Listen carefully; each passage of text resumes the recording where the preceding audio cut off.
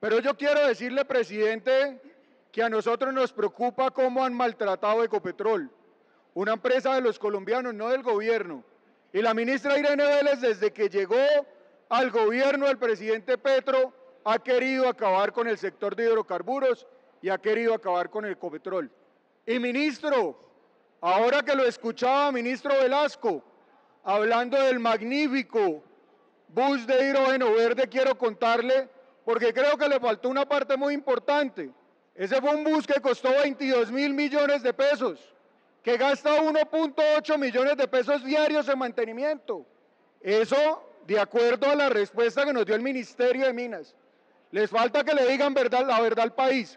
¿Cuánto nos va a costar la transición y a dónde quieren llevar a Ecopetrol? Yo le solicito a la Cámara que analicemos muy bien este artículo 329, también eliminado en el Senado de la República, especialmente las comisiones quintas, la comisión quinta de la Cámara. Primero, esto parece una especie de solicitud de facultades por parte del presidente para presentar y hacer la reforma al SINA, al Sistema Nacional Ambiental, vía decreto. Ojo con eso, vía decreto, qué peligro.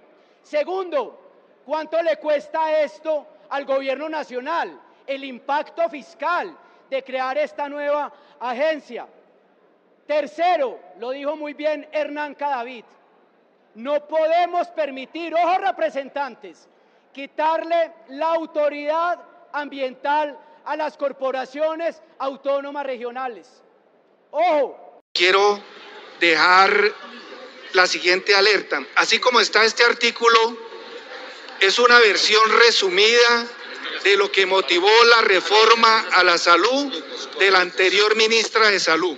Eso quiere decir quitarle absolutamente el manejo de los recursos de la UPC que financia el régimen subsidiado y el régimen contributivo, quitarle ese manejo a las entidades que hoy administran los recursos en el sistema. Nosotros hemos insistido en la eliminación de este artículo por varias razones. Primero, no tiene lugar que se presente una nueva comisión o extensión de funciones de comisión de la verdad en la medida que ya existió para un mandato específico que inclusive ya cumplió el periodo de vigencia que le había dispuesto el mismo acto legislativo de incorporación y de implementación de los acuerdos de La Habana. No tiene sentido ahora que se implemente una nueva comisión de la verdad, que no está estipulando siquiera de qué manera y cómo se compone. Estamos disponiendo nosotros que se eliminen la medida que no tienen funciones claras y tampoco nos están diciendo comisión de la verdad para quién y con quién y con qué grupo.